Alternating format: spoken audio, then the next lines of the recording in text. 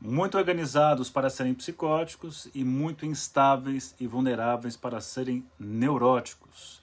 Ou, mais precisamente, utilizam defesas egóicas primitivas sem uma total perda do teste de realidade. Foi essa constatação na clínica desse tipo de paciente que chegou-se à hipótese, à proposta do borderline. Para entender a diferença, vamos no seguinte.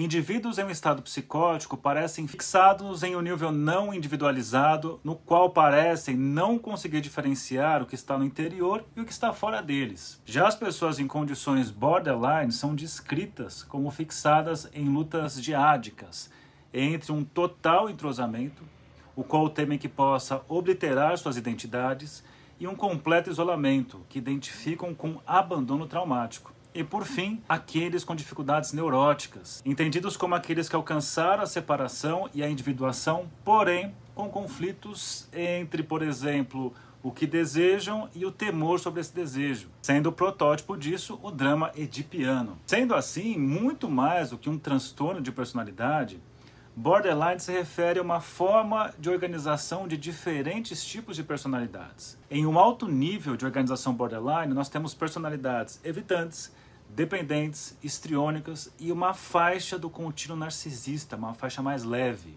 Em um baixo nível de organização borderline, nós temos personalidades paranoide, esquizoide, o transtorno borderline propriamente dito, descrito lá no DSM, e um nível mais extremo do contínuo narcisista, que desemboca ali no antissocial ou personalidades psicopáticas. Essa classificação você encontra nesse livro aqui, da Nancy McWilliams, e também nesse livro aqui, que um dos escritores é Otto Kemberg. O diagnóstico não serve para encerrar uma pessoa dentro de uma caixinha.